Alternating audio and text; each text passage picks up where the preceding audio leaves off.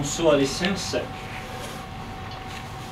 será que me permite, meu caro senhor, dirigir-lhe a palavra para iniciarmos uma boa conversa?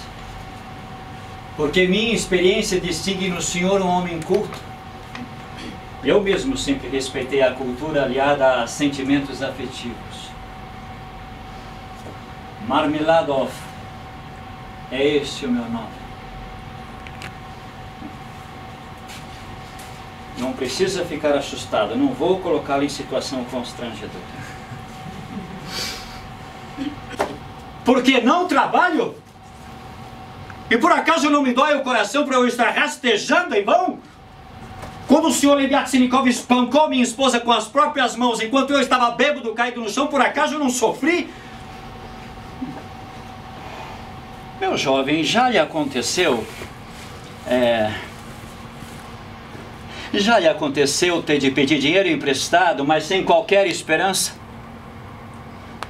Isso mesmo, sem nenhuma esperança, sabendo que nada vai conseguir.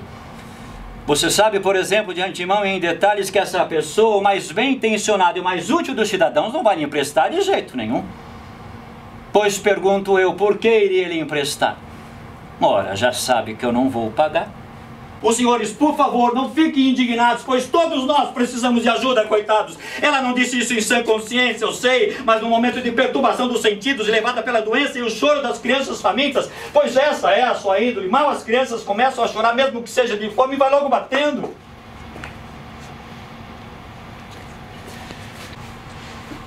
Pois pergunto eu, por que emprestaria então? Pois bem, mesmo sabendo de antemão que não vão te emprestar de jeito nenhum, ainda assim você se põe a caminho. E já que não se tem a quem procurar, então não se tem para onde ir.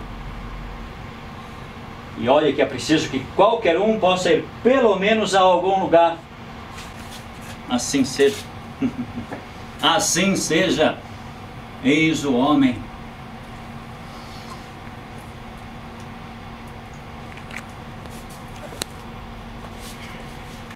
Depois a minha filha foi morar longe de nós e passou a nos visitar de noite às escondidas.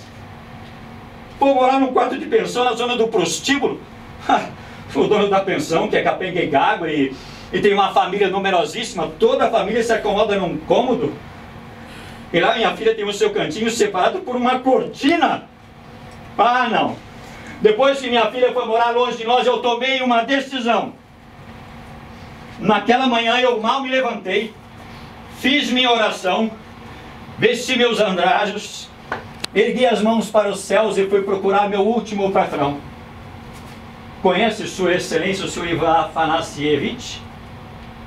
Não conhece? Pois não conhece um santo homem? A cera não derrete? Então chegou a derramar lágrimas ao ouvir a minha história.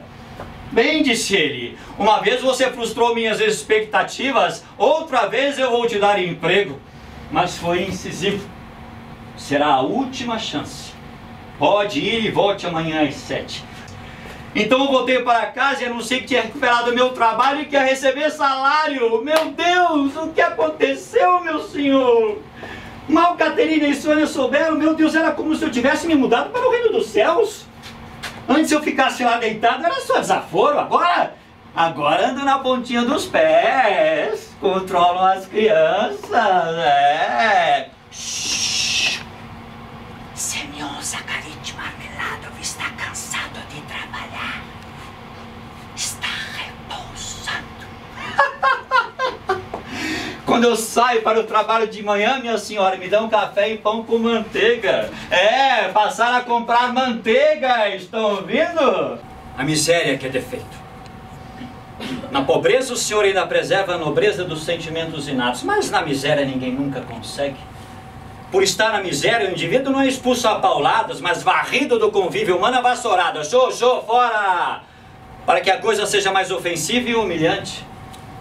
O que é justo porque na miséria eu sou o primeiro a estar pronto a ofender até a mim mesmo. Ela mesma lava o chão e passa pão e água, mas não admite ser desrespeitada. Foi por isso que eu não quis permitir a grosseria do senhor Leviatsenikov quando ele a espancou, e foi por isso que ela caiu de cama, não tanto pelas pancadas, mas por sentimento. Ah, essa é a melhor de todas. Essa é a melhor de todas. Quando eu voltei do trabalho com meu primeiro pagamento intacto, ela me disse: Ah, você é um pequerrucho formidável. e a sós comigo, está entendendo? Agora olhem para mim. Olhem bem para mim. Eu lá aparento algum encanto? Eu lá sirvo para esposo? Mas ela me dá beliscõezinhos nas bochechas dizendo você é um pequerrucho formidável. Eu sou um pequerrucho formidável. Eu sou um pequerrucho formidável. Ah, caros senhores e senhoras, isso também poderia ser motivo de riso para todos vocês. Eu só faço incomodá-los.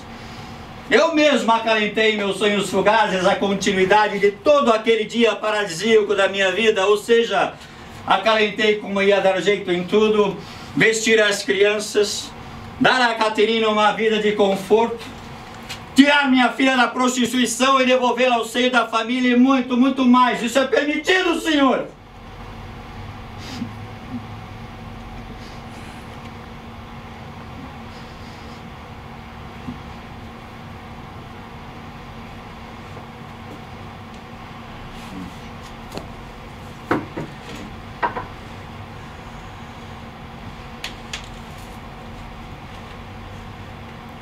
Pois bem, meu caro senhor meu. Pois bem. Já no dia seguinte, depois de todos esses devaneios, ao anoitecer, usando de um artifício como um ladrão no meio da noite, roubei de Caterina a chave do seu baú e retirei o que tinha sobrado do meu salário que ele havia entregue, do total já nem me lembro, e me mandei para o primeiro boteco. De boteco em boteco eu tenho percorrido um itinerário sem volta, deixando para trás muita angústia e sofrimento pela minha ausência.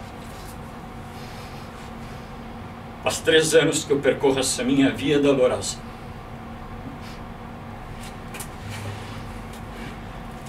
Eu não voltei porque eu não tinha coragem de enfrentar o silêncio de minha filha, nem de olhar nos olhos de Caterina. Vergonha. Já sentiu vergonha alguma vez, meu caro senhor?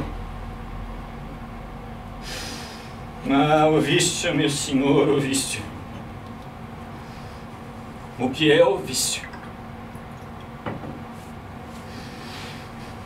O emprego eu já perdi. O uniforme novo eu deixei num brechó em troca dessas roupas e uns trocados e tudo chegou ao fim.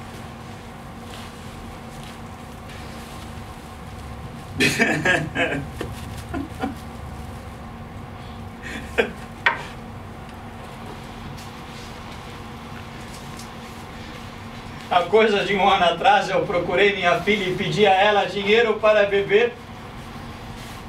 Deu-me dinheiro, o único que tinha, eu mesmo vi. E não disse nada, apenas olhou em silêncio para mim. Ah, não é da terra e sim de lá que se fica triste assim pelas pessoas, que se chora por elas, mas sem censurar, sem censurar. Deu-me dinheiro mesmo precisando dele.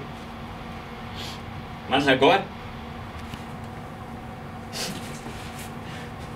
Compreende, meu caro senhor. Ela devia manter a pureza. E essa pureza especial custa dinheiro, compreende? Ela precisou de cremes também, de, de saias engomadas, daqueles sapatos com mais encanto para poder mostrar o pezinho quando tivesse de passar por uma poça d'água, mas agora. Compreende, meu caro senhor, o que significa essa pureza? E vejam só eu, o próprio pai, em você e seu dinheiro para encher a cara. Estou bêbado. Aliás, eu os bebi. Mas tem um motivo. Vocês vão agora saber. Como se já não os tivesse o bastante, não? Mas minha dor maior vocês vão agora saber.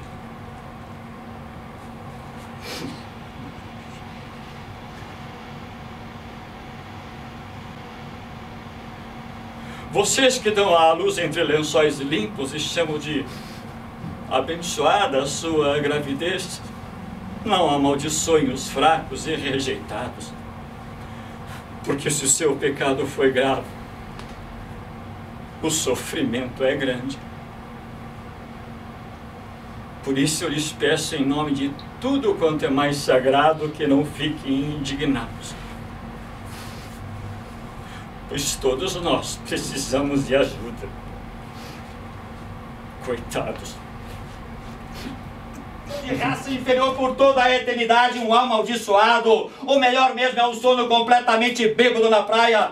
Estou encharcado de meu vício que aprofundou suas raízes e sofrimento em minhas entranhas, que sobe ao céu, me golpeia, me derruba, me arrasta. Mas não deveria confessar ao mundo meus desgostos e minhas traições. Sozinho, carrega seu fardo, percorra seu deserto.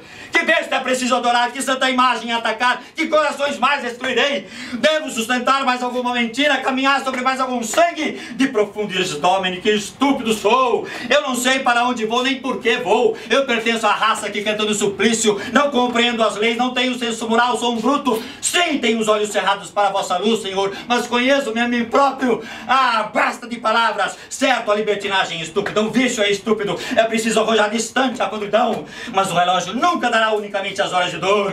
Vou ser raptado como uma criança para brincar no paraíso esquecido de todas as desgraças. Se Deus me concedesse a calma celeste, a oração como aos antigos santos, os santos, os fortes, os anacoretas, os artistas. Ai, queime-me os pulmões, latejo minhas têmporas. E se a condenação realmente for eterna? Um homem que quer mutilar se está condenado, não é assim? Acredito-me no inferno, logo estou nele. Mas o inferno nada pode contra os pagãos, é a vida. Mais tarde as delícias da condenação serão mais profundas. Que as leis humanas me precipitem no nada. Ah, cala a boca, cala a boca. Esta é a vergonha, esta é a repreensão. Satã que diz que o fogo é ignóbil, que minha cólera é terrivelmente louca. E dizer que por sua verdade que vejo justiça. Ai, seca minha pele da cabeça. Ai, piedade, Senhor, eu tenho medo, tenho sede tanta sede. Ah, a infância. Caminhar na relva sob a chuva, o lago sobre as pedras, a claridade da lua quando o sino da igreja batia meia-noite. Em algum lugar não haverá almas honestas que me desejem o bem. Mas também eu tenho travesseiro sobre a boca, não me ouve, são fantasmas. Então que ninguém chegue perto de mim, o cheiro é queimado, é certo? Ah, a teologia é séria, o inferno sem dúvida está embaixo e o céu no alto. Êxtase pesadelo, sonha em meio ao ninho de labaredas. Jesus caminhava sobre sarças ardentes sem dobrá-la. Jesus caminhava sobre águas revoltas, a lanterna mostrou ele de pé, de branco, com suas tranças negras sobre uma onda de esmeralda. O milagre Lázaro pode nos revelar seu princípio e suas leis. Qual deve ter sido sua primeira palavra ao Cristo? Posso também ser um Lázaro ressuscitado dessa minha ausência de vida e purificado de todos os meus pecados? Vou revelar todos os mistérios, os mistérios religiosos ou naturais, morte, nascimento, futuro, passado, cosmogonia ou nada. Sou mestre em fantasmagorias. Mas por favor, eu não peço orações, isso me faz ter raras saudades do mundo. Minha vida foi somente doces loucuras, é lamentável. Todas as manhãs, noites, dias, ah, eu estou exausto. Não, eu não estou exausto, não. Eu deveria ter meu inferno pela cólera, meu inferno pelo orgulho, meu inferno da preguiça, um concerto de infernos. O combate espiritual é tão brutal quanto a batalha dos homens.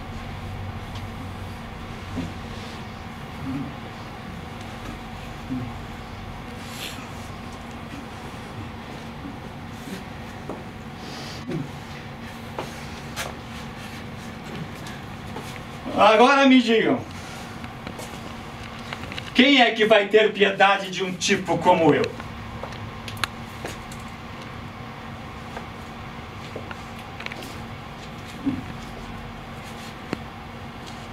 Então, Senhor, tem piedade de mim ou não? Aqueles que pretendem que os animais solucem de dor, que os doentes desesperem, que até os próprios mortos sofram pesadelos, procurem entender os motivos de minha queda. Eu não posso explicar-me melhor do que eu mendigo com Deus monótonos, Pai Nosso e Ave Maria. Eu não sei mais falar.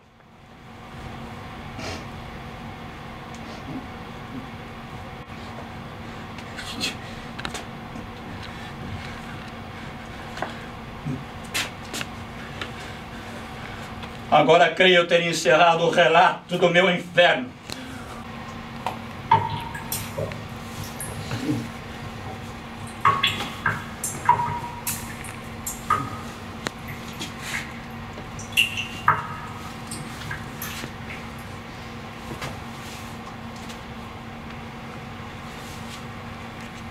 Bem, agora eu vou me embora.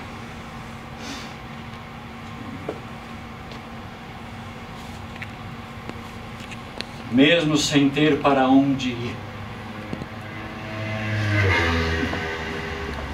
E aos senhores e senhoras que ficam, por favor, não fiquem indignados. Pois todos nós precisamos de ajuda. Coitados.